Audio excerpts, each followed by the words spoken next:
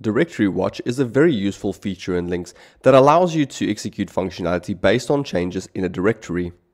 The service will monitor a specified directory and upon any changes in that directory, for example a file has been dropped into it, functionality will be executed. The Directory Watch has a few settings that you can configure.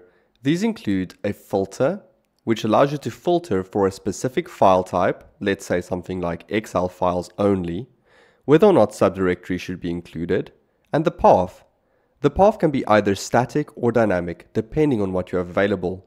There are also different watch options. These include watch for changes, watch for creation, watch for deletions, and watch for renaming. These will each get their own event handler, and how they work is, for example, a file is created in the directory, then the created event handler will execute. Functionality must thus be built inside of the event handler to execute.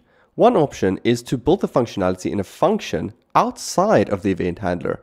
For example, let's build a very simple function that will read the data from the file and import it into a database. I'm going to create a parameter that will contain the file path. Then to read the file, I'm going to use the text file read component in the file plugin. Let's set the file path to our parameter and then do all of the normal configuration in order to return the data. Then in order to insert this data into the database, I will use an execute SQL component underneath the data plugin. Here again, we will need to do our normal configuration.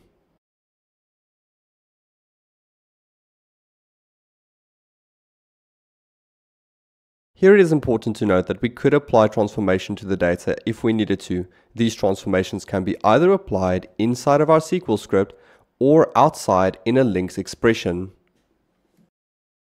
Now that we've created our function, we can add it into our event handler. We will need to assign the parameter for the file path, and then we're ready to test. We can do this by using the debug mode. By debugging the directory watch, we will be able to see what happens on runtime.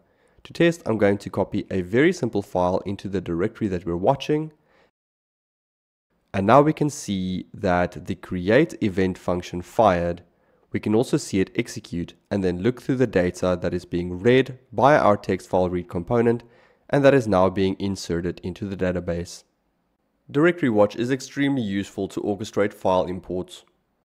To learn more, go to linx.software.